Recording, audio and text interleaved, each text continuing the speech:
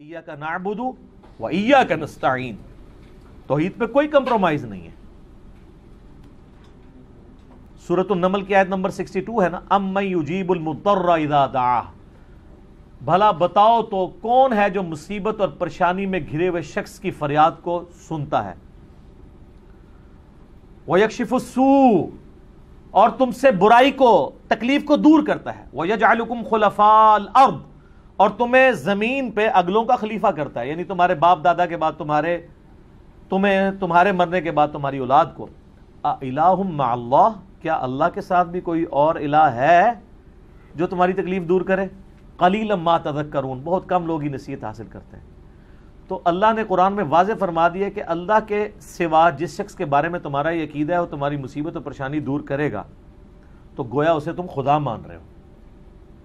इसको मैं, मैंने बड़ी आसान मिसाल से समझाया कि बारिश कौन बरसाता है? अल्लाह। ड्यूटी किसकी है? फरिश्तों की। तो बारिश फरिश्तों से मांगेंगे या अल्लाह से? फरिश्तों से मांगेंगे तो मुशरक हो जाएँगे। अल्लाह से मांगेंगे। वो अल्लाह की मर्ज़ी, फरिश्ते भेजे, जिन्नात भेजे, कोई बुज़ुर्ग भेजे, हवा भेजे। बुज़ुर्गों को, अंबिया को, जिन्नात को, फरिश्तों को, सिहाबा को, अहल बैत को पुकार नहीं सकते मदद के लिए। ईया का नाबुदू व ईया का नस्ताइन जारी इमदाद ज़रूर करें व तावनु बिर व तकवा वला तावनु इसमी वल उदवान नेकी परहेजगारी के कामों में एक दूसरे की मदद करो बुराई में ना करो मैं आपसे कहता हूँ मुझे पानी पिला दें बिल्कुल ठीक है लेकिन आप बगदाद में दफन कबर के अंदर मैं कहता हूँ पानी पिला दें ईया का नस्ताइन की वायलेशन हो जाएगी क्योंकि आप दुआ के लिए पुकार रहे हैं वो अल्लाह की खसूसियत है ये है अल्लाह मौला तो ये तो बहुत सेंसिटिव इशू है ये मौला कोई भी नहीं है, जो अल्लाह मौला है। मददगार, मुश्किल कुशा, हाजत रवा। एक मौला का माना है, दिली महबूब,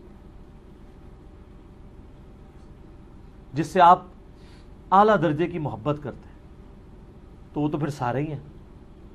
टॉप ऑफ़ द लिस्ट नबी सल्लल्लाहु अलैहि वसल्लम इसीलिए हम दुरूद शरीफ क्या कहते हैं अल्लाह सल्ली अला सैदिना व मौलाना मोहम्मद अल्लाह हमारे आका और हमारे मौला को दुरूद भेज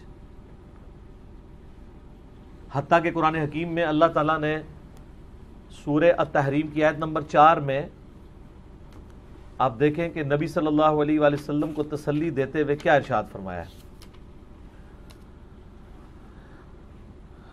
अल्लाह ताला फरमाता है कि फ़िन अल्लाह हुआ मौला नबी इस्लाम का तो मौला है अल्लाह व जबरील और जबरील व सालमिन और सारे सहाबा भी।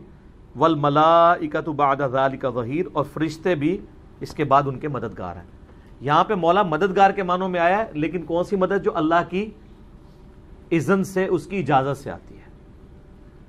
और वो क्या अल्लाह ने फरमाया कि नबी इस्लाम को अल्लाह ने जानसार सहाबा दिए हैं। तो वो जो सहाबा मददगार हैं, वो अल्लाह की वजह से। लेकिन ये नहीं हुआ कि कोई सहाबी फौत हो गया तो हजूर उसे मदद के लिए पुकार रहे हो। कि गजबा उहद में हज़रत हमजा शहीद हुए तो आप खंदक में कह रहे हो आल मदद या हमजा?